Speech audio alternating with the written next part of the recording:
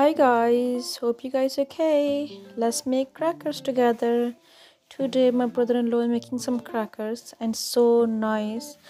You can't say it's a recipe, it's just like a kind of a snack.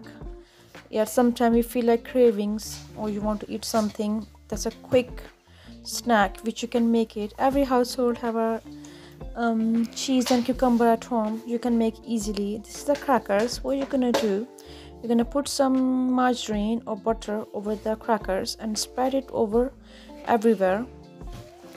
As soon you spread it then you need to heat it heat up for a few seconds. Look he's so nearly done.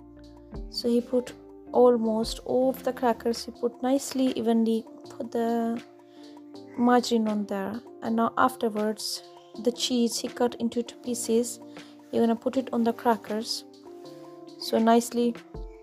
Afterwards we're gonna heat up these crackers into the microwave. So make sure do not warm up these microwaves more than five or six seconds that's it. Otherwise you're gonna lose the taste. This the taste gonna be wasted.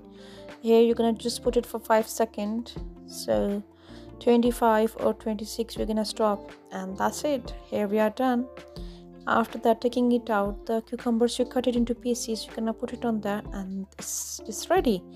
So did you see that? How simple is that isn't it? You guys try as well. Sometimes you feel like to eat something light or easy.